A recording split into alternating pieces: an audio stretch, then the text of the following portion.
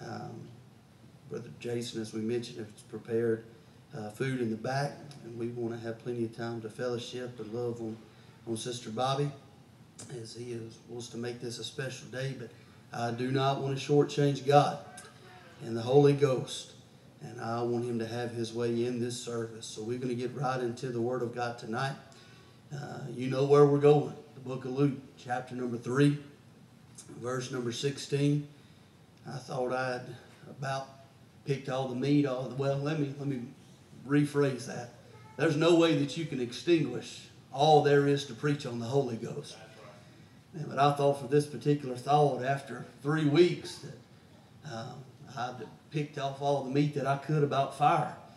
Uh, but i got down praying last night and um, wanted to go in a different direction. And the lord just still began churning that thought over in my heart and began talking to me. And uh, I don't know how long we'll park out right here and preach uh, off of this one verse of Scripture, but uh, I know I want to park out and preach as long as He would have me preach.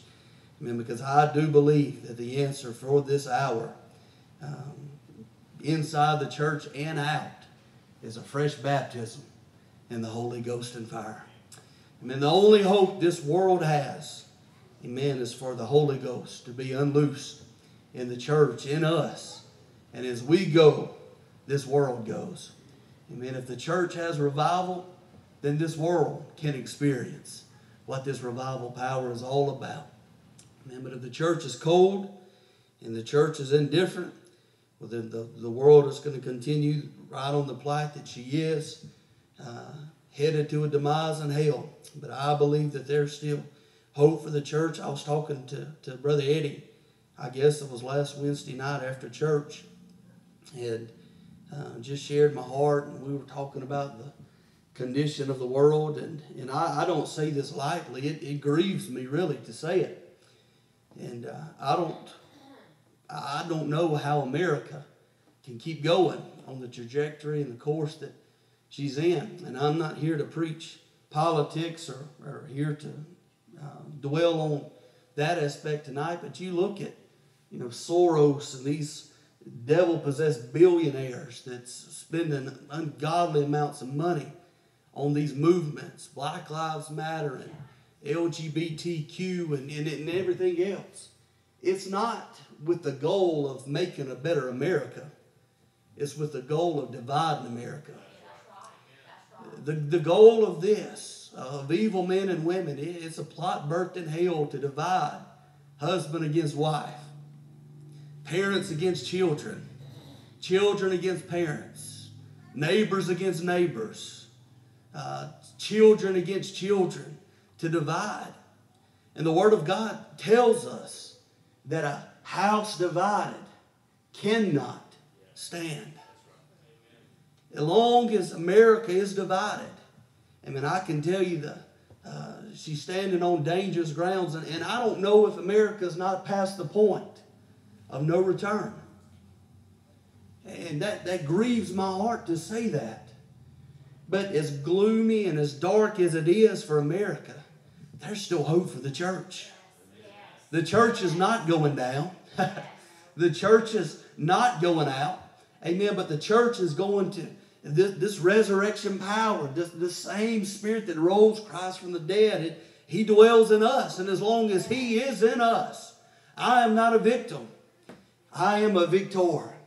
Amen. I'm not conquered, but I am a conqueror.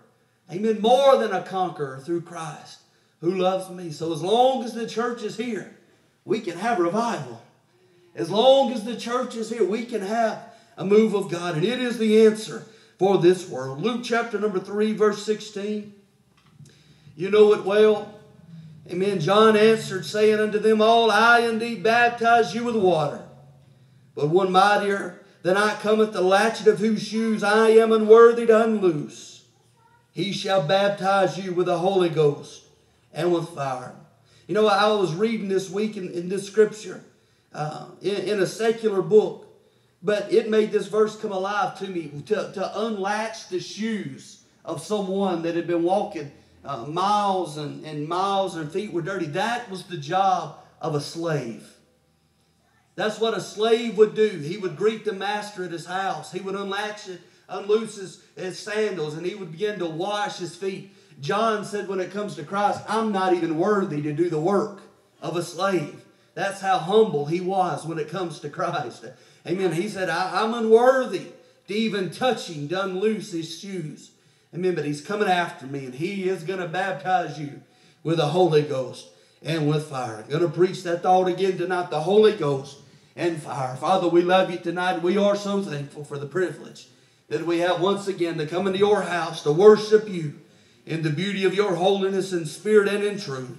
We're asking now for the unction, for the anointing, for the empowerment of the Holy Ghost to rest upon us. Father, I have felt your spirit today as you have talked to me.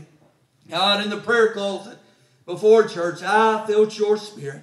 And I'm asking that that same spirit of God would be present in this service tonight. Do a work that only you can do. I pray that you would feel and you would refill tonight, God, all over again. And Father, we'll be careful to give you the glory, the honor, and the praise. In Jesus' name we pray it. And the church says, Amen. And amen.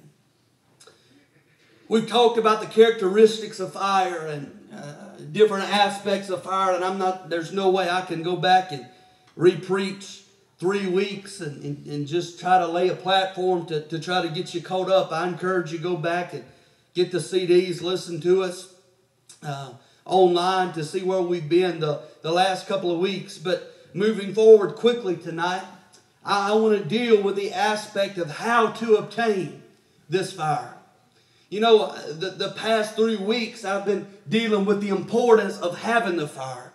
I've been dealing with the aspect of why the fire is important, and I hope creating a, uh, an appetite within us for this Holy Ghost and fire. But, Brother Minks, I never want to be a preacher that tells what we need, what we need, what we need, but never tell us how to get it and how to receive it for ourselves. You know, the same way I, I never want to be one to preach hell so hot, but never give the congregation opportunity and a way out. I mean, I, I don't want to ever present a problem or a lack or a need without giving the recipe or the remedy for that need. And I hope within the, th- the, the past three weeks there's been an appetite created for the fire of the Holy Ghost in our lives. Uh, but the Lord has dealt with me tonight on how to receive this fire, on how to obtain more of this fire in our lives. And if you want to know the recipe for how to receive more of the Holy Ghost uh, in your life, uh, I mean, the recipe is in the Word of God. Amen. Shocker, I know. If you're looking for some new age theory on how to receive the Holy Ghost, uh, and go, go find a televangelist somewhere. I'm not here with any New Age theory. I'm here uh, with the oldest message in the book and the, the oldest recipe there is. I heard a preacher uh, not too long ago. He is more more modern than I am, but he what he said got a hold on me. He said his mama makes the best fried chicken in the world. And he said he would love going to his mama's house on Sunday afternoon between church services when she was frying fried chicken. He said, man, he said uh, that was, uh, he felt close to heaven when he was eating his mama's fried chicken. And he said he could eat all he wanted to on Sunday and get his belly full of, and he could go back to his mama's house on Tuesday and say, Mama, do you have any more of that fried chicken? That, that fried chicken that you had on Sunday was awesome. I want some more of that. And she might tell him, yeah, there's a, there's a leg or there's a wing left. I'll put it in the microwave for you. And he, she would heat up that, or that chicken for his, her son in the microwave, and he, his taste buds would be all excited. But when he would eat the chicken on Tuesday, it never was as good as it was on Sunday. There, there's something about it being fresh. There's something about it when it first comes out of the grease that a microwave, uh, as good as it is, uh, it cannot duplicate the real thing. Uh, and he said on Tuesday he could tell uh, tell his mama, Mama, there's something wrong with this chicken. Uh, and uh, and he, he, likened it to the church. he said too many people are eating two day old fried chicken and thinking that the problem is with the recipe. and they're trying to find a new recipe. and they're trying to find new ingredients. Uh, and they're trying to find new age philosophies and new way of thinking to, to produce the, the good fried chicken when all that they need uh, is a fresh batch of what's proven uh, and what's already worked. I'm not here to give you anything new. I'm not here to present to you new ingredients or a new recipe. I'm looking straight in the Word of God at that New Testament church. If we do what they did, if we pay the price that they paid, amen, if we get along with God the way they got along with God, we can have the same move of God and we can experience the same move of the Holy Ghost in our generation as they did. The same way that they turned their world upside down by the power of the Spirit of God, we can turn our world upside down for the cause of Christ. I'm not looking for anything new tonight. I thank God for the proven recipe that we have in the Word of God. Hallelujah. You may ask, How do I obtain this fire? Uh, you will get the same fire that they got uh, when you do the same things uh, that they did. You will receive the same fire and the same touch and the same spirit that they received uh, when you do the same things that they did. A uh, few things we're going to touch on tonight. You may ask, what did they do? Uh, first and foremost, they were obedient to the command of heaven to be filled with the Spirit. You know the verses very well in Acts chapter number one, as Jesus is being ascended into unto heaven. The Word of God says in verse number four, and they being assembled together with them commanded them that they should be uh, uh, gathered in Jerusalem, but wait for the promise of the Father, which saith he, Ye have heard of me. For John truly baptized with water, but ye shall be baptized with the Holy Ghost uh, not many days hence. Uh, in verse number 8, he said, But ye shall receive power. After that, the Holy Ghost has come upon you, and ye shall be witnesses unto me both in Jerusalem and in all Judea and in Samaria unto the uttermost parts uh, of the earth. Skipping down to verse number 12. Then returned they unto Jerusalem from the mount called Olivet, which is uh, from Jerusalem a Sabbath day's journey. And when they were come in, they went into the upper room where abode both Peter, James, John, Andrew, Philip, and Thomas, Bartholomew, and Matthew, James the son of Alphaeus, and Simon Zelotes, and Judas the brother, brother of James. And these, pay attention to this, these all continued with one accord in prayer and supplication with the women and Mary, the mother of Jesus, and with his brethren. In the first part of chapter number one, they received the promise of the Father. And they received the command to tarry in the city of Jerusalem until you be endued with power from on high. And notice their response. They went to Jerusalem and they tarried in an upper room. They did not debate with Christ uh, over uh, the recipe. They did not debate with Christ and say there's got to be an easier way. They didn't try to talk him out of it and say, Lord, uh, why don't you just lay hands on us here? You breathed on us before and said, receive you the Holy Ghost. Uh, why can't you breathe on us again? Uh, they didn't uh, uh try to debate with him and try to get him to change uh, his mind. Uh, they received a promise. they received the instructions to go. and bless God, they went. amen. They forgot, forgot about things, forgot about the business, forgot about family obligations. but they knew and they believed in their heart that it was the express will of God uh, for them to receive the promise uh, of the Holy Ghost. Uh, they knew, Brother Stephen, that it was God's will uh, for them to be filled. Uh, so they did not debate. Uh, they obeyed every detail of the Word of God. He said, Go to Jerusalem, and they went. Listen, we have got to be obedient in the same manner, for the same way it was the will of God for that New Testament church to be filled with the Holy Ghost and fire. We have to believe within our heart it is the same express will of God for every one of us, young and old, male and female, white and colored, no matter the pedigree. It is God's will for us to be born again, and then it is God's will for us to be full of this Holy Ghost. Hallelujah. The same way the command was there for that New Testament church to tarry until they were endued or clothed clothed with power from on high, how much more should we tarry uh, in Foley uh, until you and I are endued uh, with the Holy Ghost and with fire? If it was a promise then with no expiration date, then that promise was with you and I in mind. And the same way that they tarried until they were filled, you and I must tarry until the Holy Ghost is a reality in our lives. What if that New Testament church was like many in Christendom today?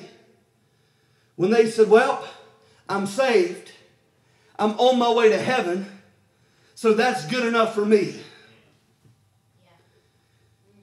If that was their philosophy, then they never would have survived the waves of persecution that they were destined for. They never would have had their soul filled with iron. In the same way, Peter denied Christ by a fire on three different occasions and cussed and he swore with an oath and said that he did not even know the man. That was what he was destined to replicate and duplicate time after time after time again. Yes, they were saved.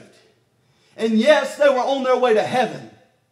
But they knew if they were going to be victorious in this life, they had to receive this promise that Jesus told them was theirs.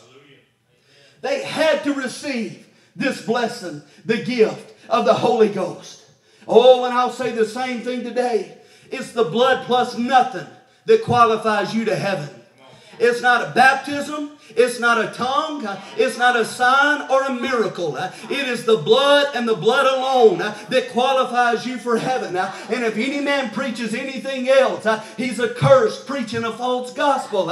It is the blood and the blood alone that saves a man. Thank God for salvation that comes through the blood. Amen. But if you're not raptured one second after your born again experience, and if you plan to stay in this life and be victorious, victorious, uh, then that's why you need the baptism uh, of the Holy Ghost and power. Uh, not so you can get to heaven. Uh, the blood has already made you a candidate for that. Uh, amen. Uh, but for you to be victorious in this life, it's going to take another power source. It's going to take something altogether different for you to be able to be victorious and stand through the trials and the tribulations in life. And that's why Christ on the cross of Calvary, He died died and he gave up the ghost uh, so that you and I uh, could receive the ghost, uh, the Holy Ghost of heaven. Uh, and as he was victorious uh, and triumphed uh, over hell itself, you and I can be victorious in the same manner, not by our own works, not by our own flesh, but by the working and the power of the Holy Ghost in us. We must be baptized with the Holy Ghost and fire. You want to know why less than, I, I, I believe I read it right. Many years ago, I could be wrong of the number. But you want, I, I believe it's in the ballpark. Somewhere around the neighborhood of 18% in professing Pentecostal churches claim to have the baptism of the Holy Ghost. You want to know how we've arrived at that? We made the Holy Ghost optional. We made him optional. If you experience him and if you're filled with him, great. But if you're not, and you never experience this power, that's okay too. Listen, it was not optional for that New Testament church. Tarry in the city of Jerusalem until you be endued with power from on high. In Ephesians 5 and 18, we find a command to be not drunk with wine wherein is excess, but be filled with the Spirit. He didn't say you ought to be filled. He didn't say that uh, you should be filled. He didn't say you could be filled. He didn't say you optionally uh, could be filled. He said be filled with the Spirit. Uh, imperatively uh, be filled. The command, uh, listen, the blueprint for a victorious church has not changed. It still takes the power of the Holy Ghost to be victorious in our our in this hour uh, just as much as it did uh, in their hour. It's not optional, folks, and it's a slap in the face of God if we make the Holy Ghost optional in our churches. Oh, I need the Holy Ghost in my life. I've got to have the Holy Ghost in my life the same way you need the Holy Ghost in your life. If you've not experienced this power, this same resurrection power that raised Christ from the dead, if it, uh, amen, if He has never been a reality in your life, uh, amen, friend, uh, that's why you need Him. Amen. That's why you need His power. Amen. A different power source that will enable you to be victorious in this present life. One thing you won't be able to leave here saying tonight is that Brother Cory thinks the Holy Ghost baptism is optional. He's not. It is imperative, Brother Meeks, that we be filled to receive this glorious Holy Ghost. We must believe that it is the expressed will of God for us just as much as it was the express will of God for them. I've got to hurry tonight.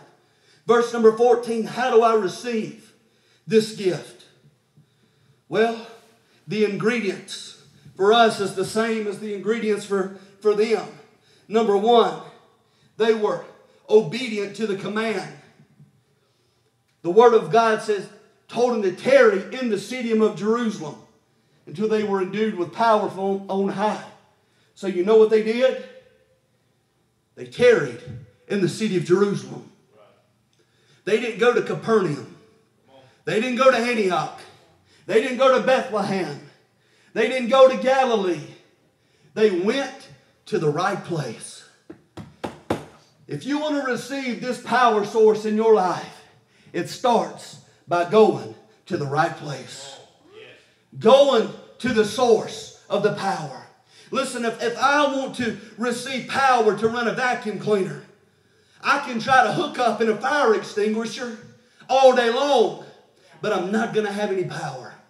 I, can hook up uh, uh, to, to something else, to some other uh, energy source, uh, but I'm not going to have the power uh, that I need. Uh, if I want to receive power for my appliance, uh, then I've got to hook up uh, to the right power source. amen. It's the same way with the Holy Ghost of heaven.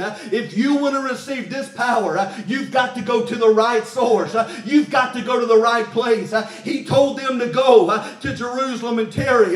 go to your Jerusalem. Go Go to the place, uh, amen, that you meet with God. Uh, go to the place uh, that you know the Holy Ghost will be there. Uh, go to the place uh, where you found Him in the past. Uh, go down to the altar and begin to pray and seek His face. Amen. It starts by going to the right place. Then not only do they go to the right place, but they did the right things. You may ask what they did. Number one, they were obedient to every command of God, and it started with their obedience in unity. Verse number 14, and all continued with one accord in prayer and in supplication. Just a few weeks before was the James and John that was jockeying for position, asking who could sit at the right hand of Christ. You see, they were worried about establishing an earthly kingdom and an earthly throne and having earthly power. But here, when Jesus gave them the command to go in the city of Jerusalem, they were united. There was no jockeying for position. There was no big eyes and no little U's. But they realized that the ground is level at the foot of the cross. Oh, hallelujah. It didn't matter who was the best orator. It didn't matter who had the best education. The Bible says that they were all ignorant and unlearned men, uh, which means that they could not read or write. Uh, they had no formal education level. Uh, they weren't worried about who was smarter than the other. Uh, they knew uh, that they had received a promise from God uh, and they had to be united.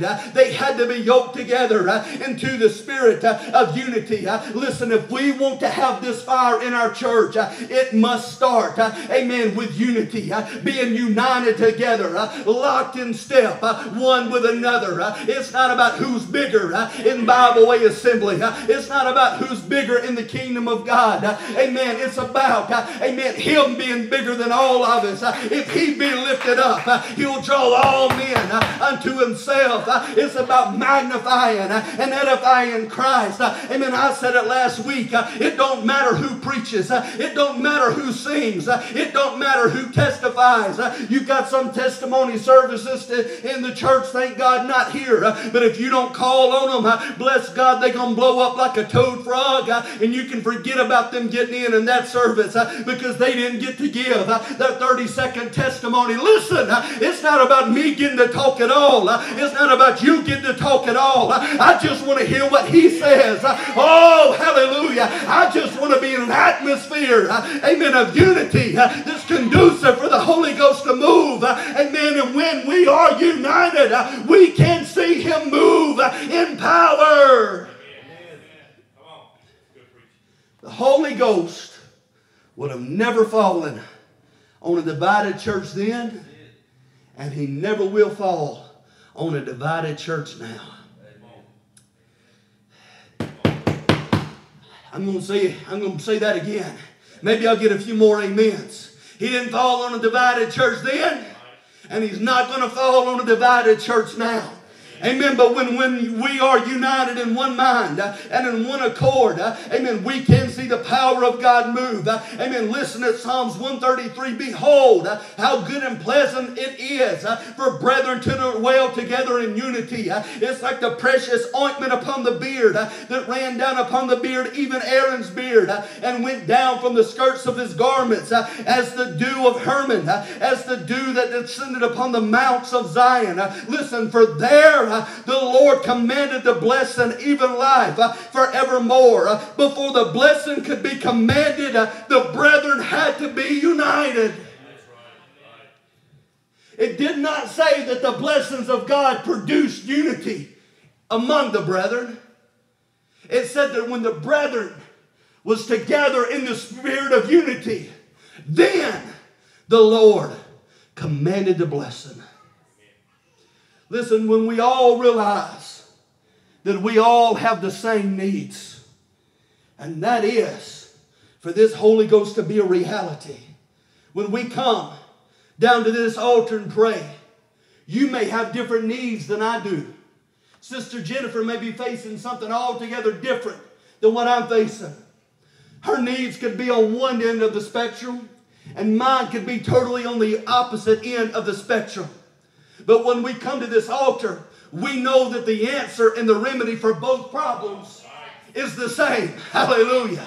The Spirit of God uh, is the answer. Uh, amen. For me, uh, the Spirit of God is the answer for you. Uh, and when we yoke together, uh, amen. When me and uh, Caleb, or brother Stephen, we yoke together, we may have total different problems. but when we realize that the answer is the same, amen, and we start moving in the same direction, and we stand united, amen, the atmosphere can begin changing. all things can begin happening because we all realize that while we have totally different problems, uh, the answer for the problem uh, is the same. Uh, oh, hallelujah. That's why we must be united in prayer.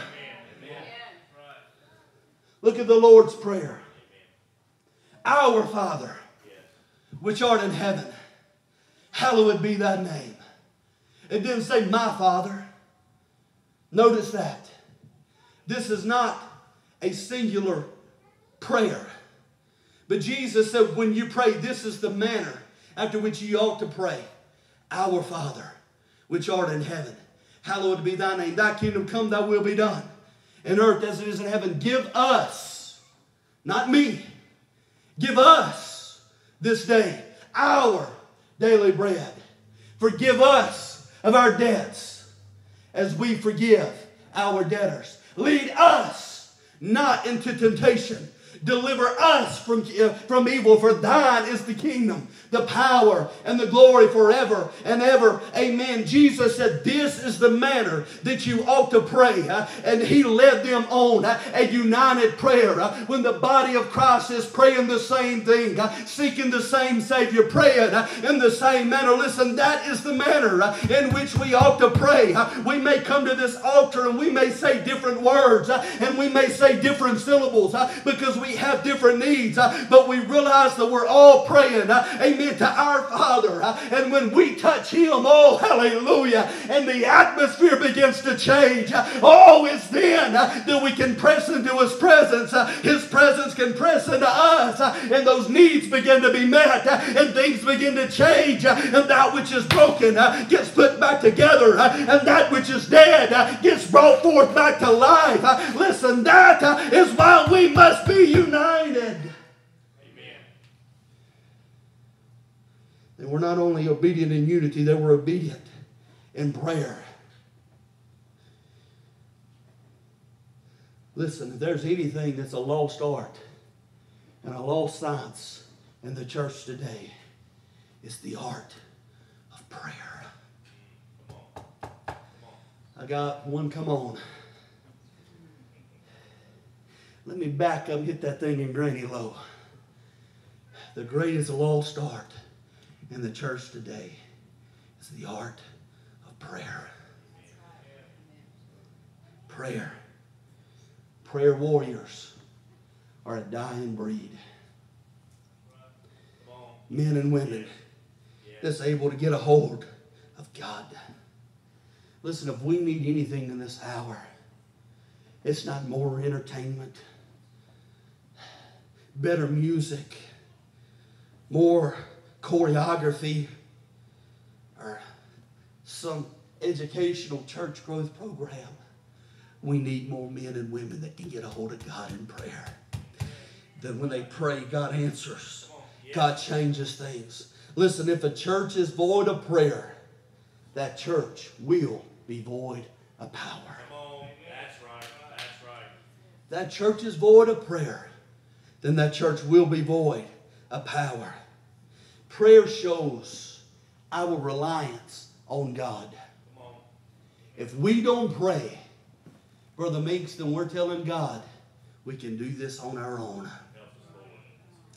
If we don't pray and we don't get along with God in prayer and cry out to Him, then we're prideful in our arrogance of thinking that we can make it through this life without needing anything from Him. Brother Steve, I need Him. I need him. I've got to have him.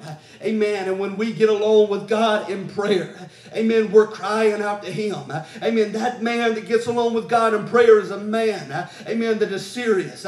Amen. Show me a church that's getting people saved, delivered, set free, people healed, marriages being put back together, and the Spirit of God flowing in the service. And I will show you a church that prays. I told you last week about Pastor Morales in Cuba. Amen. Saint Santiago de Cuba. Amen. It was, uh, was a town. I, I wanted, wanted to call it Santo Domingo, but Santiago de Cuba, third largest city in Cuba. Amen. Right just a couple of blocks down from uh, Fidel Castro's mausoleum where um, uh, thousands upon thousands of people flock to. Uh, they have a changing of the guard there. Uh, just a couple of blocks down the road. Uh, amen. It's a Church of God church that started out with seven people, but they called a 24 hour a day, seven day a week prayer prayer meeting uh, that's been going on for somewhere around 20 years uh, without fail, uh, nonstop. Somebody has been in that church praying, uh, amen, 24 hours a day, uh, amen, for over 20 years. Uh, and that church has grown from seven, amen, to, to where it runs about 600 every service. And they have multiple services on Sunday morning. Amen. We preach that morning on the power of the Holy Ghost in that service. And uh, uh, it, it's happened to me just on a number of occasions. But as I, I began to pray, I felt the Holy Ghost so strong. I, I'd been sick with food poisoning the night before. I thought I was going to be buried beside Fidel in Cuba, sick uh, as a dog. Uh, but God told me in the middle of the night through my sickness, you're going to preach uh, the baptism of the Holy Ghost. Uh, amen. I thought at one point in time somebody else was going to have to, but I knew when God spoke, amen, I knew He had a plan for that service. Very weak, to hide dehydrated, almost passed out multiple times uh, as I was preaching in that, uh, that service. Uh, oh, but as we begin to preach, the Holy Ghost met us there. Uh, there was no way that people could come up to the altar. Uh, mean, The, the, we, the way we have this altar, that was huge for them. Uh, you had about three feet from the platform to their first pew and had three bal- or had two balconies up, up above the main floor so they could fit everybody in. I, I preached that morning on the Holy Ghost, I, I looked at Pastor Morales. I said, What do I do? I, I feel I need to pray for people, but we can't get into the altar. He said, You go to them. The Holy Ghost began talking to me.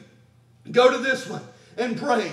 And as soon as I would lay my hands on people that were going through to the baptism, of the Holy Ghost just like that. Uh, amen. As soon as I would lay hands on them and go to the next one, uh, they were falling down like cork wood. Uh, their language was changing from, uh, from uh, uh, Spanish into the Holy Ghost. and we had ourselves a time. he told me afterwards that probably the greatest compliment I've ever received in, in ministry. he looked at me and he said, You, sir, are a classical Pentecostal preacher. amen. I wore that thing like a badge of honor. I don't want to be new age. I don't want to be cool and hip. Amen. I don't want to be classical uh, in the uh, uh, in the with the recipe of the Holy Ghost. That's the answer for Cuba, and that is the answer for us. Oh, but it would not have happened if that church had not been praying. Praying, seeking God. Prayer is the root of it all. I've got to hurry. All of these were in prayer in one accord in prayer and supplication. we cannot forget that last part supplication. If you were to look up that word in the Greek, it's the word deomai, which means to beg, to beseech, to earnestly pray, to not just pray, but to earnestly pray. Amen. To beg, to ask, to desire, to long for. Yes, they had received the promise from Christ that the Holy Ghost was to be their a possession. But receiving the promise, Brother Meeks, was not good enough. Because they could have received the promise but never prayed that thing through to, to fulfillment. Uh, and the Holy Ghost never would have been uh, a power in their lives. Uh, listen, I can tell you all day long, uh, it is the will of God for this church uh, to be filled with the Holy Ghost and fire. Uh, and while that is 1000% fact, and that is 1000% proof, if we don't pray that thing through, amen, and we can say it now to Jesus comes and us not have that power, listen, it's one thing to have a head knowledge to know uh, this is the will of God, uh, but it's something else to become possessive uh, of that promise. Oh, uh, and earnestly pray uh, and pray in supplication uh, and pray until you pray. listen, it's not just enough to pray. I heard the old timers say this and it didn't make much sense, but now I appreciate it all the more. when you pray, you've got to pray until you pray. You've got to pray until you pray. You've got to pray more uh, than until you touch heaven, uh, but you've got to pray until heaven uh, touches you. Oh, I'm about to have me a spell right there. Uh, it's not just enough uh, to pray until you touch heaven, uh, but stay there in that floor until heaven reaches down and touches you. that's when glory fills your soul. that's when this Holy Ghost and fire is a reality. Brother Meeks I don't want to just pray until I touch heaven, but I want to stay there until I know heaven has come down and touched me. That's what praying and supplication means. Listen, they yearn for this gift. They long for this gift. This wasn't just a 10 minute prayer meeting. This was a 10 day prayer meeting. We live in a microwave society where if it takes more than three minutes, we don't want it.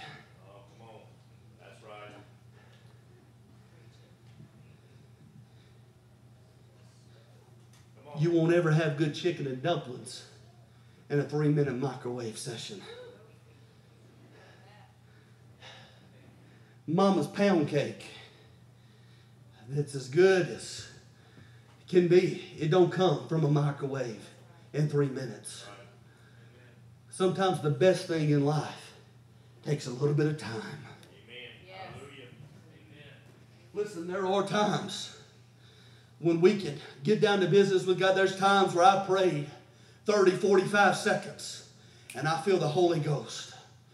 Then there's other times where it's a sweet hour of prayer.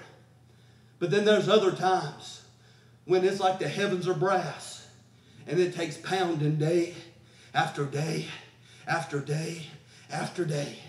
Amen. Sometimes, amen, it's not just a, a quick fix or a little dab of do ya, but sometimes it's prayer and supplication is yearning earnestly for a move of God. Listen, the Word of God tells us in Isaiah 66, verse 8, as soon as Zion travailed, she brought forth her children. That word to travail means to twist, to whirl, to dance, to writhe with pain, to fear, to tremble, to travail, to be in anguish, to be pained. But the Word of God says, as soon as she travailed, she brought forth her children. Oh, when the church gets hungry for this Holy Ghost and power, uh, and we begin to travail uh, with God in prayer, uh, amen, to where we, uh, amen, begin to not only travail, uh, but we begin to prevail in prayer. Uh, that's where the power is. That's where the power comes from. A lukewarm church never has to worry about receiving this power. Amen. A three minute prayer won't produce it. Amen. But for the church is hungry, it don't matter if it takes three minutes,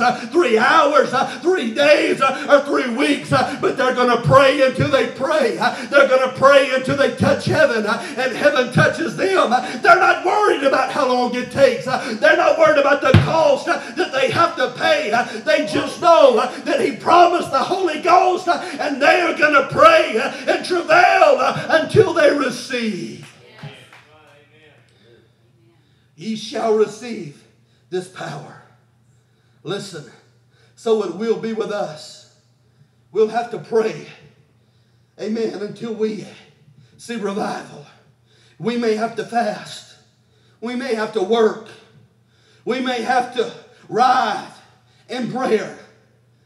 Oh, but when we see it with our eyes and when we hold it with our hands, it's going to be worth every prayer meeting. Oh, yes. Thank you. It's going to be worth every tear. You. It's going to be worth every drop of sweat. Amen. A year ago today, A Hudson was brought into this world. That was a very painful time for my wife that had to go through that process. Oh, but when we held that baby in our arms, she forgot about all the pain.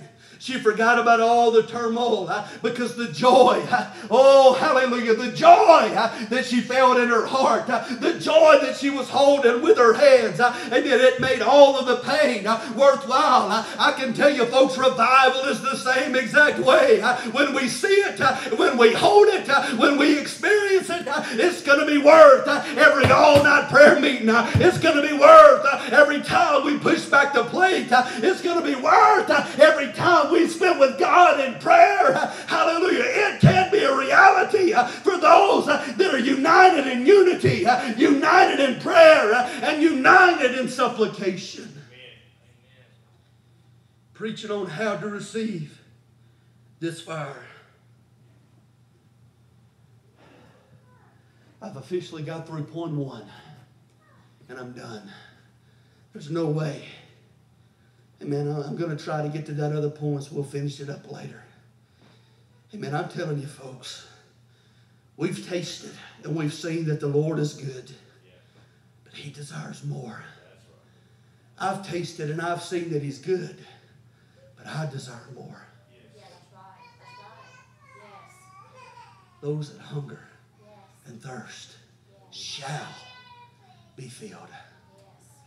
Ye shall receive power. After that, the Holy Ghost has come upon you. Those are definite phrases and definite words. Anything less than that, Brother Joey, we miss the mark. Not God. Amen. That's right. That's right. Fire. Amen. How to possess this fire. What, what, what, what are you talking about fire? We preached the last three weeks on the characteristics. I'm closing with this. I, I believe it was Brother Harold Hanks told us in his own church, and I'm not for sure of the church where it was. The name of the church is irrelevant. But they had been on a extended fast, praying and seeking God, praying for the Holy Ghost to come and to be a reality, their church and their community. And on a Sunday night, God was moving, God was blessing. All of a sudden, they noticed on the, the outside that fire trucks began to come into the parking lot. They noticed that people began to gather in the parking lot. So, being concerned about what was going on, somebody walked outside and said, Hey, what's going on? They said, There are reports that this church has caught on fire. And they walked outside and looked, and sure enough, fire was running down the, the, the main, the, where the church comes together. Fire was running down the apex of that church. But they sat there and they looked at it for about five minutes. They sent people up in the attic. The fire was not consuming, the fire was not burning. And the fire chief said, Well, we can put water on this fire, but water won't even put this one out. they got in their trucks and they left. Uh, amen. And that was a church that was known for years to come as the church on fire. Amen. The church on fire. Folks, that's what I want Bibleway Assembly of God to be. Let it be known uh, throughout Foley. Let it be known throughout Baldwin County that we uh, are a church on fire. Uh, we're not a church uh, where you can find donuts and coffee. Uh, we're not a church where you can find uh, the latest self help guru to where you can live your best life now. Oh, help me preach somebody. We're not here preaching some fad and some whim, but let us be known that we are a church on fire. Amen and let the lost know, uh, amen, that if they want to get right with God, uh, amen, the church down the road uh, is the place to go. Let it be known, amen, that if the drug addict wants to be delivered and sobered up, amen, that there's a church on fire, amen, a Bibleway Assembly, amen, where they can sober up and get delivered. Let it be that when the doctors are filled up, and if there's more pandemic sweeping this land, that vaccines won't fix, that social distancing won't fix, uh, that mask won't fix, uh, and there's no help, uh, there's no remedy, uh, there's no medication. Uh, let this be a church uh, known that there's men and women full of faith and the Holy Ghost that'll anoint you with oil, pray the prayer of faith, and your sick will be healed. If we're known for anything, let us be known as a church on fire stand with us all over the building. I was listening to a Baptist preacher preach this week. I love preaching to him. He's got more fire on him than any, the 90% of Pentecostal preachers. But he said he got a call from the governor. He was the only church in Kingsport, Tennessee that didn't shut down. Said Baptist folks were talking about him. Said Assemblies of God folks were talking about him. He even got a call from the governor's office of Tennessee that said, Brother, you're the only church not shut down. It looks bad on you and your congregation. I'm going to need you to shut down and obey the orders. You got to know the preacher. He picked up the phone and he said, You tell Bill Lee, the governor of Tennessee, if he thinks he's bad enough to come shut my church down, let him get in the car and come down to Kingsport, Tennessee and try. The aide said, Sir, I'll deliver the message. Said three days later, the governor called him and said, Sir, the only thing we can caution you is just be careful. just be careful. Amen. Try to do distance the best as you can, but just keep doing what you're doing. He said, All right. He said, I didn't think you were man enough to shut me down. But he said, What bothered me and what struck me the most here's a man that don't claim to have the Holy Ghost as you and I have the Holy Ghost. Here's a man that don't claim to be full gospel as you and I are full gospel. But he said, The thing that bothered me the most is he said, the faith crowd that wants to dip hands well, with everybody and dip their fingers and all and pray for everybody, the assemblies of God, the church of God, he said they were the first ones to shut down. He said, I still can't figure out how you, how you claim to be people of faith when you're scared. Amen. To anoint people and pray, to pray the prayer of faith. Listen, I, I'm not here bashing anybody. Amen. But I have to believe that this Holy Ghost power that I have is greater than any man made pandemic that we may face. Listen, I, I've had COVID, it was rough and I may die of it down the road, but I will go to my grave believing that the Holy Ghost is greater. Oh, Amen. I'll go to my grave believing by faith that God is greater. Hallelujah. Than anything that we'll face in this life. Again, bashing nobody. Amen. But saying, let us be known that we're a church full of faith. Amen. That's greater than any sickness, than any fear, than any doubt, than any worry, uh, than any pestilence, uh, than any plague. Our God is greater. Let us be a church marked by this fire. Amen. How many of you will will meet me in this on this altar tonight? Lift your hands toward heaven. Amen. Cry out to God with me in prayer for. Amen. I wish we'd pray for a while tonight. Amen. You may have to leave and go. Amen. I understand that. I know there's food and fellowship prepared for us in the back, but first, let's give the Holy Ghost due time. Let's give the Lord due time in this altar. Amen. Cry out together in unity, in one mind.